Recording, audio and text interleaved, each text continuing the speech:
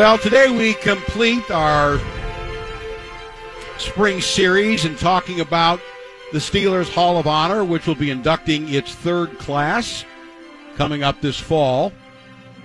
This was an idea created by the late Dan Rooney and his son Art, who will be joining us momentarily, to honor those great Steeler players, and there were many, who just didn't make the Pro Football Hall of Fame. And something I've been campaigning for for a long time a ring of honor, some sort of a mention inside the stadium. And we're already getting set for our third class. And during these eight weeks of the spring, winter, and early spring, we talk about a couple, three potential nominees for the Hall of Honor. And then the following day, we interview some of the players who are already in. This year, we talked to Jack Ham and Mel Blount Franco, Dermontti Dawson, uh, Mel Blount, so many great stars that we talked to uh, about the players that they played with, Jack Ham, uh, that, that they would like to see in. We're joined now by the president of the Pittsburgh Steelers, Art Rooney. Art, how are you? Thanks for joining me today. Hi, Stan. Great to be with you. Oh, my pleasure. You know, I remember the inaugural meeting uh, of the Hall of uh, Honor Selection Committee, of which I'm really proud to be a member, and you outlining why you were doing this, why you and your father had come up with this concept. And I'm wondering now that we're coming into our third year, um, has it been what you hoped it would be?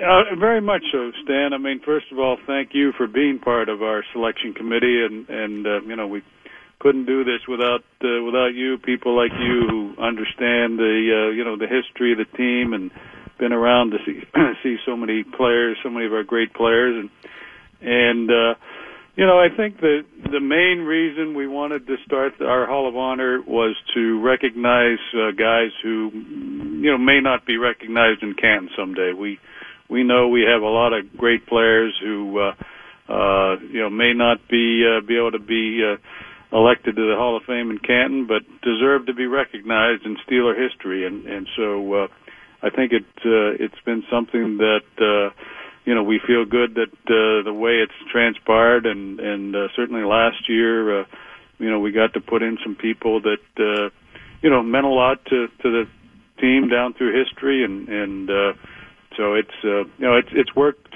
great, and you know I think. Uh, as we go forward here, we have a you know a lot of uh, interesting and important names to consider it's difficult um, every year. It's it, everybody on the list deserves it. Just a matter of uh, what order they'll go in. I'm curious about two things, Art.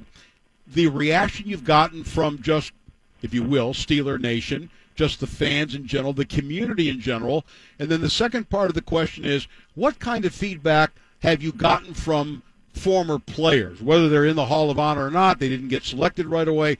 Uh, what what kind of feedback have you gotten from them?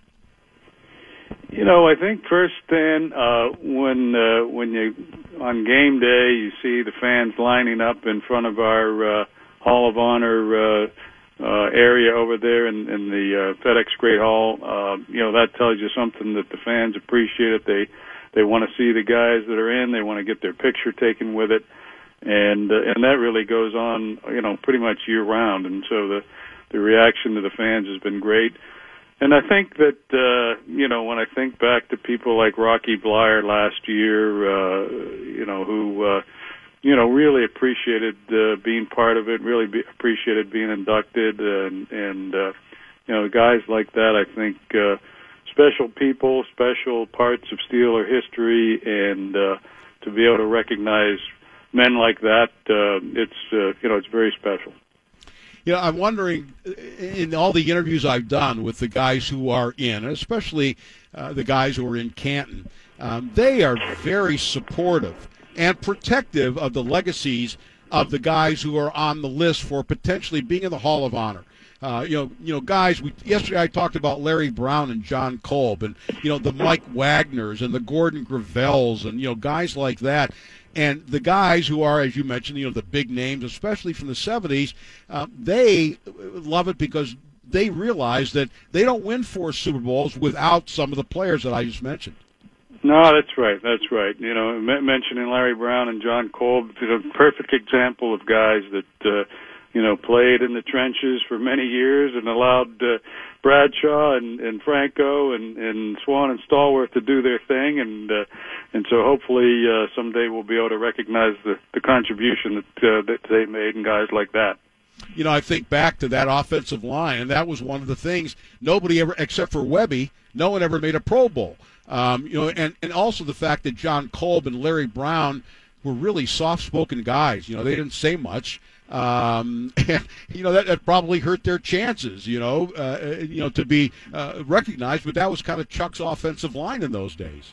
You know, they they really didn't get their due as far as I'm concerned, and uh, you know we we uh, think about uh, how how fortunate we are right now with the line we have, and the fact that we've had these guys together for a number of years, and and how much that means, and and uh, you know back in the in the 70s that that line was intact for quite a number of years. And uh, they really never got their recognition or their due. And you know let's face it part of it was the fact that uh, that we had some great stars you know playing the, the skilled positions. And and that's where all the attention goes. But uh, but those guys uh, really deserve the recognition. And and like I say I'm excited that someday uh you know through our hall of honor we'll be able to bring them in as well Steelers president Art Rooney is our guest.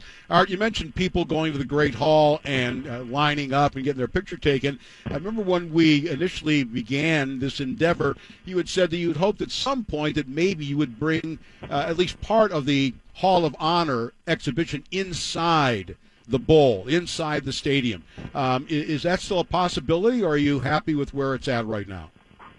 Well, you know, I would say that uh, we we still look at that, and uh, you know, we we do have uh, in the north end zone now. We we have a uh, a banner recognition where you know all of the names of of the guys that are in, in the Hall of Honor are recognized, and we'll continue to at least do that. Uh, but uh, to be honest with you, Stan, as the list grows, the the uh, problem gets a little tougher, and uh, so whether we'll be able to do it in a way that we feel comfortable with uh, inside the bowl, where you know we're always going to be looking at it, but uh, still haven't still haven't figured that part out. You know, it reminds me of the line from Jaws where the captain goes, "You're going to need a bigger boat." Uh, to catch that shark, you're going to need a bigger place to put all that stuff. Um, just a couple final questions, Art, and thank you so much for being here. Uh, when the day comes when your name is brought up, uh, will you recuse yourself, or will you vote yes, or will you vote no? Well, I would say, Stan, that I probably won't be around for that day. I'm, I, if it ever comes, it's uh, way down the road, so I don't expect to have to be a participant in that. And uh, you know, it's it's one of those things that there are certainly a lot of people that I hope are on the list before before I ever get there. All right, as, as I expected you would answer. And the last thing, Art, I'd be remiss if I didn't ask you. Um, do you feel relieved that the quote turmo- turmoil uh, appears to be gone and that you can now concentrate on moving forward with this team? Yeah, I, I think uh, whether relieved is the right word, I, I think that we're all looking forward to 2019 and you know excited about the guys. Uh, we're, we're starting to see guys back in the building now, and and that's fun to see. And obviously, we're in the final stages of the draft preparation, and so. Uh, you know, I, I, I'm excited that the focus here is really on getting ready for the the 2019 season, and uh, and that's where it should be. And and uh, like I say, the the best part about it is starting to see guys back in the building. And next week, I think we'll see even more as our off season program starts formally. And and so we're, you know, we're excited to get back to work. All right, excited to see what uh, this year will bring. Art, again, thank you so much for the time. Uh, it's really a perfect way to end our eight week series on the Steelers Hall of Honor. Thanks again, and uh, I'll see you at our first meeting coming up in May. Look forward to seeing you then. Thanks, Stan. Good to be with you. My pleasure, Art. Thank you very much.